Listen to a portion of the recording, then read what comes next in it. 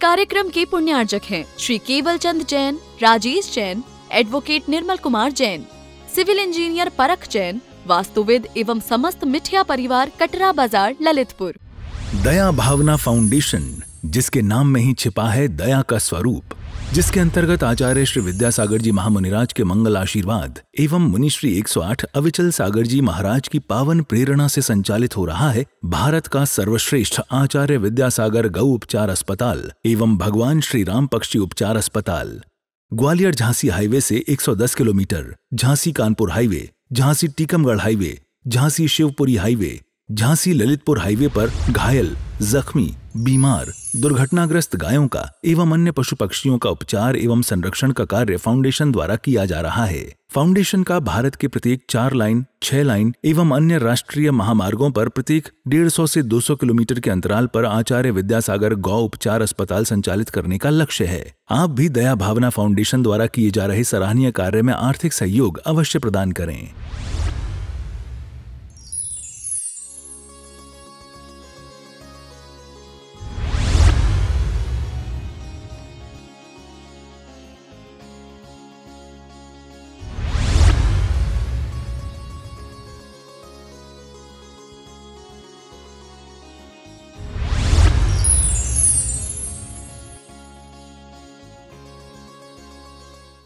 अगर मान लीजिए आप आप जिस स्त्री से, जिस पुरुष से प्रेम करते हो खाबों में, ख्यालों में, हृदय में, आतड़ियों में, किडनी में, हार्ट में, कलेजे में, फेफड़े में धारण करके बैठे हो, अगर मान लीजिए वो मनुष्य योनि में नहीं होता तो क्या कुंवारे बैठे रहते आपका जो पति है, आपकी जो पत्नी है, जिसका आप प्रेम करने का दावा आपका दिमाग करता है, मान लीजिए वो मनुष्य योनि में नहीं होते, अभी त्रियंश गति में कहीं होते, अभी उसका मनुष्य शरीर में प्रवेश नहीं हुआ था तो आप क्या कर लेते कुंवारे बैठे रहते हैं, इंतज़ार में खड़े रहते हैं। सही सही बताओ, क्या कर लेते हैं? समझ में आ रहा है मैं कुछ कह रहा हूँ?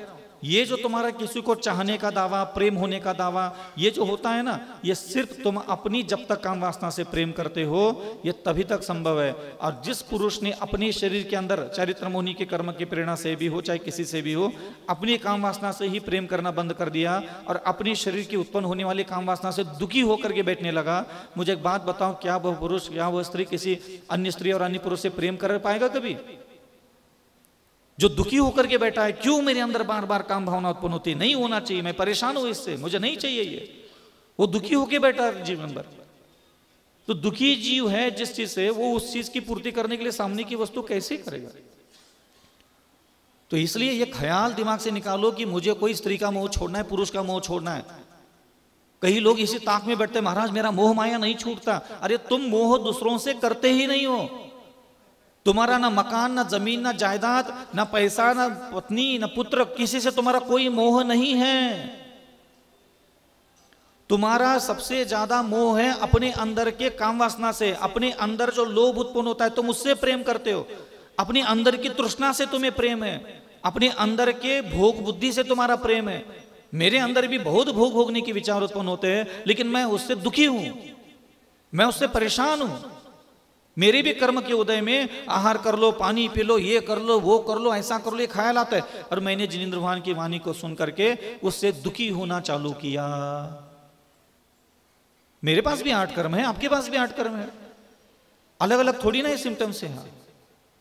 मैं, मेरे कर्म की प्रेरणा से जो भी दुर्भावना उत्पन्न होती है, जिसके लिए भगवान ने मना किया है, मैं उन चीज़ों से दुखी होकर के बैठने का अभ्यास करता हूँ। रोज बेवजह दुखी होकर बैठता हूँ। तो ये ख्याल छोड़ दो कि मुझे किसी पत्नी का पति का मोह नहीं छोटा जाता। बहुत दिन से साथ रह रहे, इसलिए राग हो गया, बहुत अच्छे लगते ये सब मिथ्या परिभाषा है। तुम्हें किसी की ज़िंदा रहने से, किसी के मरने से, किसी के मनुष्य होने से, किसी की स्त्री से तुम्हें कोई लेना देना नहीं है। कोई लेना देना नहीं तुम्हारा। किसी भी आत्मा का कोई किसी से कोई लेना देना नहीं है। सब लोग कान खोल करके सुन लेना, सबको अपनी काम वासना से, अपने क्रोध से प्रेम है, अपनी मान से प्रेम है, अपने अंदर मायाचर से प्रेम है, अपने अंदर के लोभ से प्रेम है, अपने अंदर के हर दुर्गुण से हम प्रेम करते हैं। तुम उठ करके खड़े होकर के मुझे बोल के दिखाओ, तुम अपने अंदर के क्रोध को बहुत प्रेम नहीं करते। तुम्हें अपने अंदर उत्पन्न होने वाली मान कषाय से प्रेम है? क्रोध कौन करता है? वही करता है क्रोध जिसको क्रोध से प्रेम होता है। प्रेम करना पड़ता है, तब जाकर के वो अपने अंदर पनपता है। अनंत काल से वो अपने अंदर पनप रहा है। नष्ट कैसे होगा? तो कोई विवाह बिना किए जीवन जीने से कोई कल्याण नहीं होता। आपको अपनी काम वासना से दुखी होकर के बैठे बिना कभी किसी का कल्याण नहीं होने वाला। चाहे घर में बैठ के करो चाहे साधु बन करके बैठो, आपको आदेश तो एक ही दिया गया है। ये कहने में आता है कि हम गृहस्थ हैं, लेकिन आप ध्यान से जिनेन्द्र भगवान की वाणी को और शब्दों को पढ़ लो, आपको भी आज्ञा मिल चुकी है, आपको भी अपने शरीर के अंदर उत्पन्न होने वाली निरंतर काम वासना से दुखी होकर के बैठने के लिए कहा गया है। बात इतनी सी है कि तुम वो समझ नहीं पाए। तुम्हें लगा कि हमने तो घर गृहस्थी बसा ली है। इसलिए तुम अगर ये सोच रहे हो कि तुम किसी और स्त्री के और पुरुष के और मकान, ज़मीन, जायदाद के मोह मोह होने के कारण तुम वहाँ बैठे हो तो भूल जाओ। तुम अपने अंदर के दुर्गुणों के मोह में बैठे हो। तुम्हें अपने अंदर जो दुर्गुण उत्पन्न होते हैं, वो पूरा कैसे करूँगा? अगर मैं साधु बनूँगा, अगर मैं सन्यासी बनूँगा, अगर मैं अच्छा व्यक्ति बनूँगा, अगर मैं बहुत सही व्यक्ति बनूँगा तो मेरे अंदर जो काम वासना उत्पन्न होती है, घृणा उत्पन्न होती है, नफरत उत्पन्न होती है, तृष्णा पैदा होती है लालच पैदा होता है, फिर मैं वो कहा जाकर के उसका मज़ा लूँगा? इसका डर लगता है, इसलिए व्यक्ति संन्यास नहीं लेता। समझ में आ रहा है? और कोई कारण हो तो बताओ। तुम्हें कोई मना नहीं कर रहा है ना तुम्हारी माँ ने मना किया, ना पिता ने मना किया, ना पति ने मना किया, ना पत्नी ने मना किया। तुम्हें कोई मना नहीं कर रहा है कि तुम निर्विकार बनो। सब लोग तुझे मदद करने के लिए तैयार है। सब लोग तुझे मदद करने के लिए तैयार है। आज आज सारे पुरुष लोग घर चले जाना और अपनी पत्नी को सब लोग बोलना, आज के बाद तुम मेरी पत्नी बन के रहना। तुम्हें दो बार का भोजन, कपड़ा, सोना, चांदी हीरे जवाहरत, जो चाहे मैं दे दूँगा। ठीक है? पहले से दे दूँगा। तुम मेरी पत्नी बनकर के जीवन भर रहोगी, लेकिन अपने क्रोध को नष्ट करो, अपनी मान को नष्ट करो, अपनी मायाचार को नष्ट करो, अपनी मान, लोभ कषाय को नष्ट करो, अपने अंदर के काम वासना पर विजय प्राप्त करो। रहो मेरी पत्नी बन करके रहो, मेरी पत्नी बनकर के रहो। मैं मदद करूँगा तुम्हारे लिए ब्रह्मचर्य की साधना करने के लिए। चल, कर। मैं तुझे निर्मोही बनने के लिए कह रहा हूँ। बनो। बनो निर्मोही, इनको कहो जा करके आज। फुल परमिशन दे दो इनको, निर्मोही बनो, क्षमावान बनो, दयावान बनो, सरल स्वभावी बनो, मृदु वचन बोलने वाले बनो, परोपकारी बनो, शांत रहने वाले बनो बनो मेरी पत्नी बन करके मेरे साथ जीवन भर रहो और बन के दिखाओ, तुम्हें भोजन मिलेगा, कपड़ा मिलेगा, सोना मिलेगा, चांदी मिलेगी तुझे बीमारी का इलाज होगा, सब मिलेगा तुझे। अपने हृदय को, अपनी बुद्धि को, अपने अंतकरण को, संसार का सबसे सुंदर बनाओ। तब पता चलेगा आपको ये कितने धार्मिक है। तब पता चलेगा आपको ये सब चीज़ें क्या कर रहे तुम लोग? बोलो जा करके आज सब लोग। सभी लोग बोलना, आज जितने पुरुष हैं सब लोग बोलना। समझ में आ रहा है मैं कुछ कह रहा हूँ? आदमी बस एक धार्मिकता का ऐसा चोला ओढ़ करके बैठा है, वो बार बार बार बार मंत्र पड़ेगा बार बार बार सोली के कपड़े पहनेगा, बार बार बार बार स्तोत्र पड़ेगा बार बार बार बार चावल चेट के पूजा गुड़गुड़ गुड़गुड़ गुड़ कर करेगा। दिन भर कुछ पुटपुटाएगा। वो कहीं से कुछ प्रवचन सुनेगा, सुबेरे पढ़ लू, शाम को पढ़ लू, सुबह सुबह उठ कर लू, ये कर लू, वो कर लू, वो इतना कुछ करने में लग गया है, वो कुछ होना ही नहीं चाहता। आप तैयार हो, अगर आपका पति आपको ऐसा अगर करके बोल दे, फुल परमिशन दे दे कि तुम राग भाव, द्वेष भाव, घृणा का भाव, नफरत का भाव, तृष्णा का भाव, काम का भाव, निंदा का विचार सब छोड़ दो और मेरी पत्नी बनकर के जीवन भर इस घर में रहो, मेरा पति बनकर के जीवन भर इस घर में रहो और करो इस विजय प्राप्त। है कोई तैयार? हाथ ऊपर उठाए। कौन से साधना, कौन से तपस्या की बात कर रहे हो? कौन से संन्यास की बात करते हैं आप?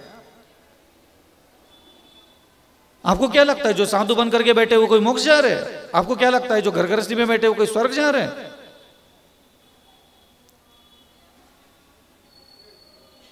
वो वहाँ बैठ करके आनंद ले रहे यहाँ बैठ करके आनंद ले रहे इसलिए ध्यान रखना, ये जो आप लोग चल रहे हो चाल, ये कभी खुद से शुरुआत ही नहीं की अभी अपने।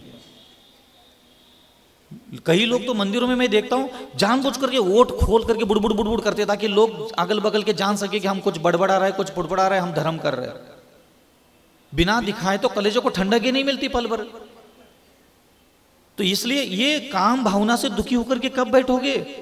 कभी जीवन में किसी कोने में बैठ करके आपको कभी ऐसा लगा यार, मेरे अंदर कितनी काम वासना पैदा होती है, कितना दूसरे के शरीर का आकर्षण पैदा होता है यार, परेशान हो गया मैं इससे।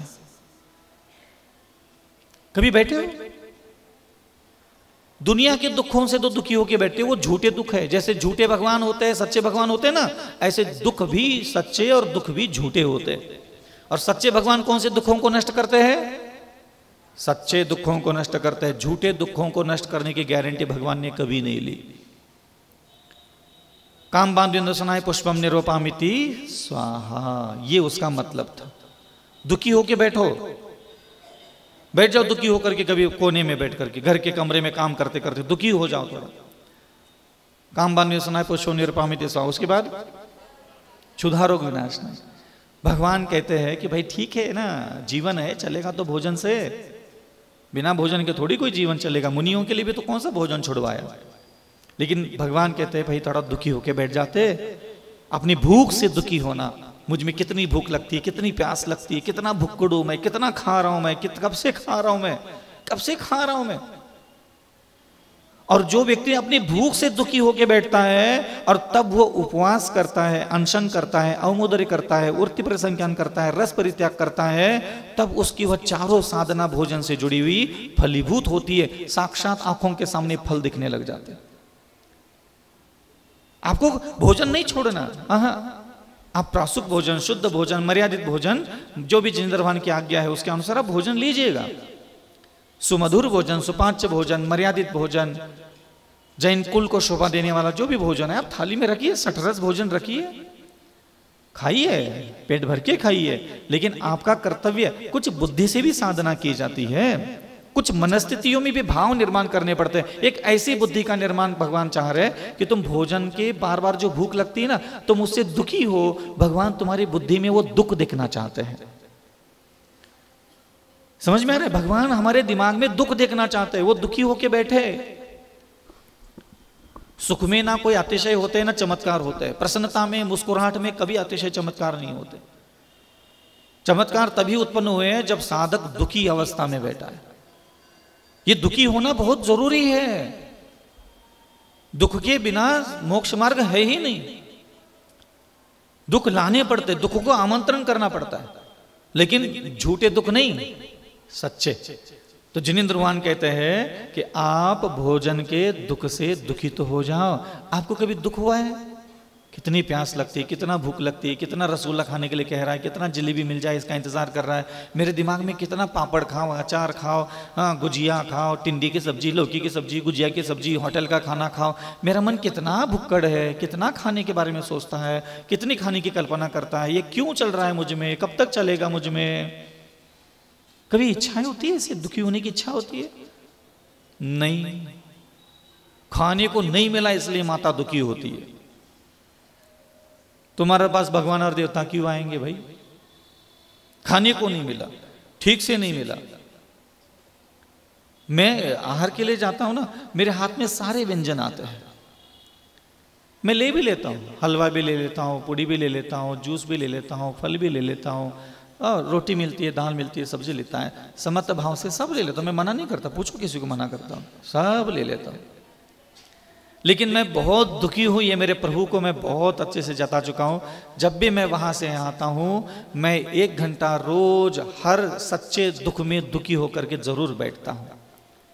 कभी बिज़ी शेड्यूल रहता है तो मैं दस मिनट ही सही रोज अपनी भूख की, मेरे अंदर इतना भूख क्यों है, इतनी तृष्णा क्यों है, ये मेरा मन ही दिन भर ये ये हलवा खा लो, पूड़ी खा लो, ये खा लो, ये किलो क्यों कहता है, ये कब तक चलेगा, किस लिए चलेगा, क्या हो जाता है इससे, कितने विचार उत्पन्न होते हैं, कितना खाना खा लेता हूँ, बचपन से खा ही रहा हूँ। हाँ पेट में माँ नहीं खिलाया, बाहर आने के बाद भी बाहर नहीं खिलाया, खुद का खुद के हाथ से खाने लगा, खुद की बुद्धि से खाने लगा, सुबह खा रहा हूँ, दोपहर खा रहा हूँ, रात खा रहा हूँ, पानी पी रहा हूँ, ये भी कर रहा हूँ। ये कब तक चलेगा मुझमें? मुझमें भूख नहीं देखना चाहता मैं, बिना भूख का जीवन अक्षय। क्षुधा रोग विनाश होते हुए मैं खुद के अंदर देखना चाहता हूँ। मैं क्षुधा रोग होते हुए मेरे अंदर देखना चाहता हूँ तो भूख के दुख से दुखी हो जाओ। भूखा रहने के लिए नहीं कहा भगवान ने। भूख के दुख से दुखी होना, जो भूख के अन्न खाने के जो ख्याल आते हैं ना, उस ख्यालों से दुखी हो जाओ। चुधारो विनाशनाय के बाद कौन सा अर्घ्य है? मोहांधकार विनाशनाय दीपम निरूपामिति स्वाहा। मोह रूपी अंधकार, ये बहुत बड़ा विषय है। और जैसे ही मैं कोई व्यक्ति साधु संन्यासी आते आपको कहते ना, मोह के वशीभूत हो। हम महाराज, हम पति पति, माता, पिता, पुत्र, घर, ज़मीन, जायदाद पर हमारा बहुत मोह है। ये ऐसा आपका दिमाग आपको फ़िल्म दिखाता है, लेकिन ये सब झूठी बातें हैं। सच्ची बात यह है कि तुम खुद अपने अंदर के प्रत्येक दुर्गुण से बहुत प्रेम करते हो, बहुत मोह करते हो। तुम्हें हर दुर्गुण अच्छा लगता है। एक भी दुर्गुण तुझे बुरा नहीं लगता। अपने अंदर का एक भी दुर्गुण तुझे बुरा लगता है तो बता नाम बता दो। एक भी दुर्गुण तुझे खुद बुरा नहीं लगता। दूसरों को तेरे दुर्गुण बुरे लगते हैं, ये तुझे पता है। जैसे तुम गुस्सा करते तो उसको बुरा लगता है, तुम डांटते हो तो उसको बुरा लगता है, तुम गाली देते हो तो उसको बुरा लगता है। लेकिन आप एक बार शांति से बैठ करके देख लो एक बार आप शांति से पलट करके देख लो, आप किसी के भी दूसरे व्यक्ति के मोह में नहीं हो। आपका अज्ञानी मन आपको वो फ़िल्म दिखाता है। और बार बार ये कहता है कि यार, मेरी पत्नी का मोह कैसे छूटेगा, मेरे पुत्र का मोह कैसे छूटेगा, मेरे माता पिता का मोह कैसे छूटेगा, ये सब चीज़ों का मोह कैसे छूटेगा तो छूट ही नहीं रहा है। एक्चुअली उसको मोह तभी था ही नहीं। उसकी जगह कोई और होता तो उससे भी कर लेते, लेकिन एक्चुअली उसके ऊपर होता ही नहीं। होता है सिर्फ़ अपने अंदर के राग भाव से मोह। इस कार्यक्रम के पुण्यार्जक थे Shri Keval Chand Jain, Rajesh Jain advocate Nirmal Kumar Jain civil engineer Parakh Jain, वास्तुविद एवं समस्त मिठिया परिवार कटरा बाज़ार, ललितपुर। क्या आप वास्तुशास्त्र के अनुसार अपने घर का काम कराना चाहते हैं?